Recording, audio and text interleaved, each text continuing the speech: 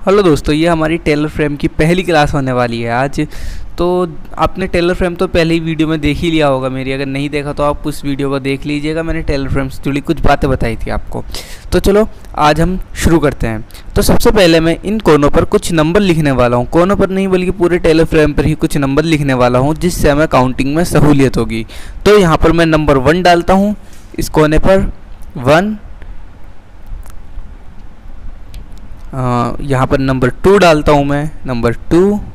आप ध्यान रखना नंबर कौन सा नंबर कहाँ डाला है इस कोने पर वन है, यहाँ पर टू है। नंबर थ्री, यहाँ पर मैं नंबर थ्री डाल देता हूँ, नंबर फोर, और यहाँ पर आएगा नंबर फाइव आपका। Five, number six, number seven, और नंबर एट। ये हमें काउंटिंग में सहूलियत देगा, इस वजह से मैंने ये नंबर यहाँ पर लिखे हैं। चलो मैं एक बार इसको फ्लूट से लिख देता हूँ। Number one number two number three number four number five number six and number seven और नंबर एट आई होप अब आपको क्लियरली दिखाई दे रहा होगा। तो हमारे कोने पर जो जो नंबर आए वो थे number one, number three, number five और नंबर सेवन। और जो हमारे बीच में नंबर आए हैं वो हैं टू, फोर, सिक्स और एट। कोनों के और बीच के नंबर अलग अलग हैं, इस चीज़ को ध्यान रखना, ठीक है? अब हम अपनी टाइप्स निकालते हैं। मैंने आपको दो तरह की टाइप्स बताई थी पिछली वीडियो में। तो आज हम अपनी टाइप्स वन से ही स्टार्ट करेंगे, क्योंकि काउंटिंग जो है टाइप वन से ही स्टार्ट होती है। चलो। तो ये टाइप्स आपको दिखाई दे रही है। आई होप चलो मैं थोड़ा ऊपर करके दिखाता हूँ। ये आपको वैसे पहले भी टाइप देख ली थी आपने, लेकिन अब अच्छे से देखिए। तो यहाँ पर जो इसकी ये पीठ है, जो ये उभरा हुआ सा आपको नज़र आ रहा है, मैं पेन से हाईलाइट करने की कोशिश करूँगा यही चीज़। तो ये जो है, ये हमारे नंबर को ही मेंशन करेगी। जिस साइड ये पीठ होगी, उस साइड ही वो नंबर होगा। किस तरीके से लगाने के बाद आप समझ जाओगे। लेकिन जहाँ इस स्पीड को हम करेंगे, वहाँ पर हमारा नंबर शो होगा। वन टू थ्री जो भी नंबर है। तो मैं सबसे पहले एक प्लेस करके आपको बताता हूँ। तो ये मैं इसको प्लेस करता हूँ और मैं इसकी पीठ रखता हूँ बिल्कुल कोने में। कोने में कौन सा नंबर लिखा है? वन तो ये क्या हुआ हमारा? वन मैं कैमरा नीचे ला कर दिखाता हूँ, वो हाइट ज़्यादा हो रही है। तो आप ये देखो। ये कोने में बिल्कुल आ रहा है तो ये क्या है हमारा नंबर वन ठीक है? अब देखो दोस्तों, ज़रूरी नहीं कि इस कोने में ही नंबर वन आएगा, पूरे टेलर फ्रेम पर आप कहीं भी प्लेस करो, अगर उसकी शेप इस कोने की तरफ़ जाएगी तो वो नंबर वन होगा। दोबारा बताता हूँ, अगर आप कहीं भी प्लेस करते हैं, मैंने यहाँ प्लेस किया है, देखो इसकी शेप जो है, कोने की तरफ़ आ रही है तो ये वन की वैल्यू है इस टाइम ये देखो वन की वैल्यू है ये। पूरे टेलर फ्रेम पर कहीं भी ये प्लेस होती है तो ये वैल्यू वन होगी इसकी। यहाँ भी वैल्यू वन है, यहाँ भी वैल्यू वन है इसकी, क्योंकि इसकी शेप जो है उसी कोने की तरफ़ इशारा कर रही है। इसकी बैक साइड जो है वो उसी कोने की तरफ़ है। तो इसकी वैल्यू वन हुई। ध्यान से देखा आपने? और देखो दोनों बिल्कुल सेम सेम सेम हैं। दोनों की शेप एक ही तरफ़ है तो वैल्यू वन को शो करता है। इसमें कंफ्यूज आपको नहीं होना। अभी जब हम आगे करेंगे, आपका कंफ्यूज़न और अच्छे से क्लियर हो जाएगा। बस याद रखना, ये नंबर्स जो मैंने चारों तरफ़ लिखे हैं।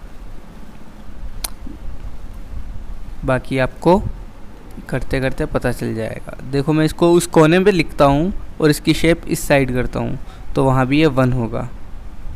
ठीक है? अगर मैं यहाँ लिखूँ, यहाँ भी वन है, यहाँ भी वन है और यहाँ भी वन है। कहीं भी बना दूँ मैं इसको तो ये डिपेंड अपने प्लेस से नहीं, ये डिपेंड अपनी शेप से करता है कि इसकी शेप किस साइड मुड़ी हुई है।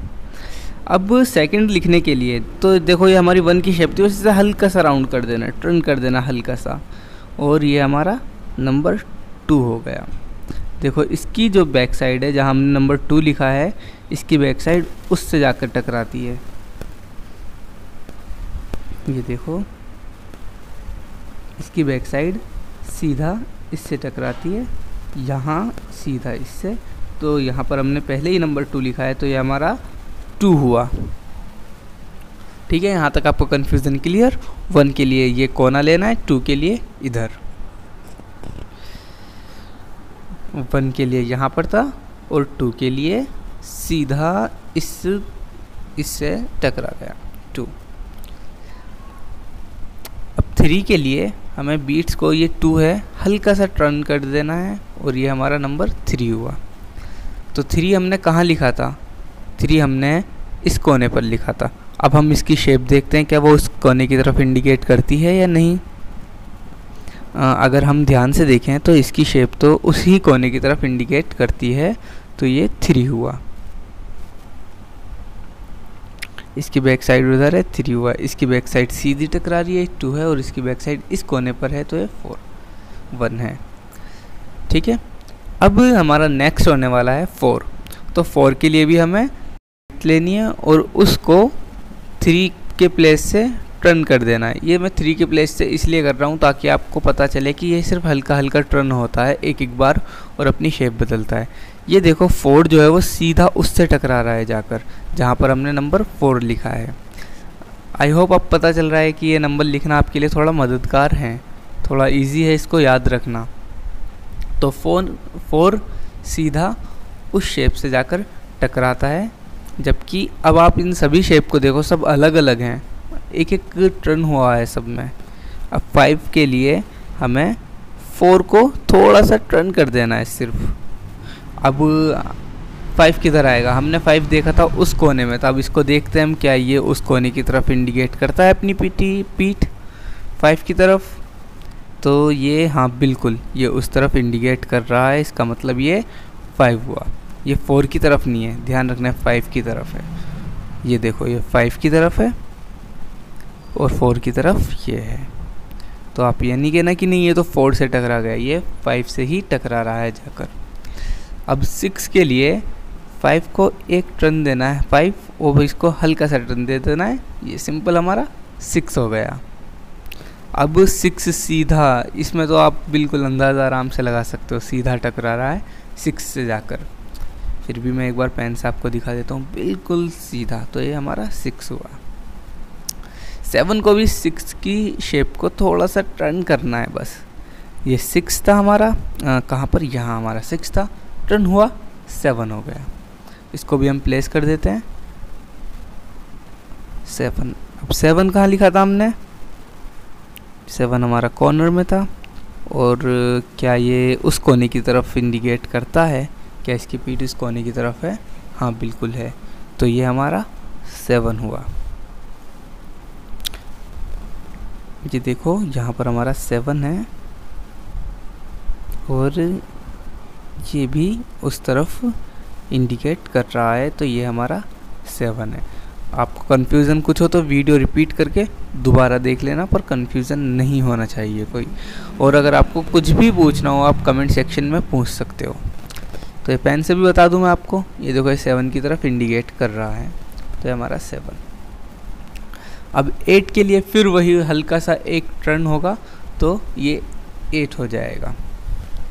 इसकी पीठ एक साइड आ जाएगी। दोस्तों, इसमें वन से लेकर एट तक या नाइन तक कहूँ मैं, हल्के हल्के टर्न है बस वन से एट तक। ये देखो, इसको हल्का सा घुमाया, फिर ये एट हो गया। अब ये सीधा इससे टकरा रहा है अपनी बैक साइड से।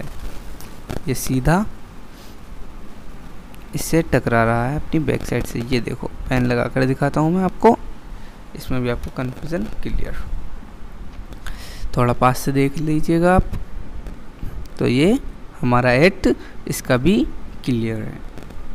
सेवन यहाँ पर है और ये एक ही राउंड घुमा हुआ है सेवन से और ये एट की शेप पर पहुँच गया। सीधा इससे टकराते हुए। अब अगर मैं इसको साइड में लिख दूँ तो ये आपको और इजीली क्लियर हो जाएगा। ये देखो, ये रही इसकी शेप ये आराम से आप सीधा आओ और एट की तरफ़। तो यहाँ तक हमारा एट क्लियर है। अब नाइन के लिए हमें करना क्या है? नाइन के लिए हमें जो हमने नंबर वन प्लेस किया था, वहीं प्लेस होगा नाइन हमारा। लेकिन अपनी शेप को चेंज करके। पहले हमने यहाँ से प्लेस किया था, इसको उठी हुई साइड से। अब हमें दो डॉट जो है, यहाँ से प्लेस करना है। इसको नंबर वन वाली जगह। मतलब नंबर वन वाले कॉर्नर पर। इस कोने पर हमें इसको प्लेस करना है कि ये इस कोने को इंडिकेट करे अपनी बैक साइड से। तो हमने इसको प्लेस किया। ये देखो, ये बिल्कुल सॉरी ये थोड़ा ख़राब है इसकी एक जो बीट्स हैं वो थोड़ा सॉरी डॉट्स जो हैं वो ठीक से उभर नहीं रहा। दूसरा मैं लेता हूँ हाँ ये डॉट्स अच्छे तो यहाँ पर मैं इसको प्लेस कर देता हूँ और ये हमारा प्लेस हो चुका है। और अब आप इसको देखो कि ये दो जो डॉट हैं, देखो सभी में जो है वो थोड़ा ऊपर सा उभरा हुआ है, पर इस पे डॉट हैं। और ये दो डॉट जो हैं, इसकी शेप इस कोने पर है, पर ये हमारा उल्टा है। मैं आपको पेन से दिखाता हूँ।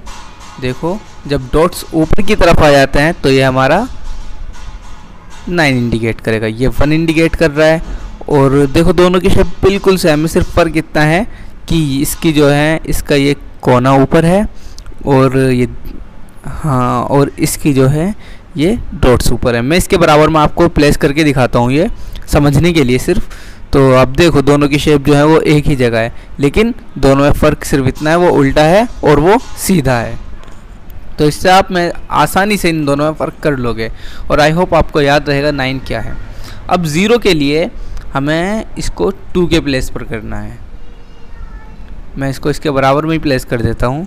तो ये देखो, ये ज़ीरो के लिए। ये रहा।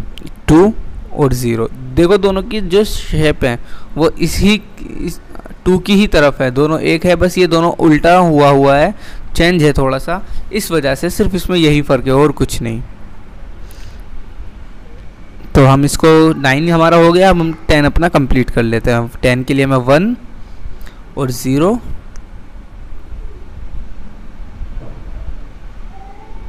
ज़ीरो जो कि हम सीख चुके हैं, और ये हमारा टेन हुआ।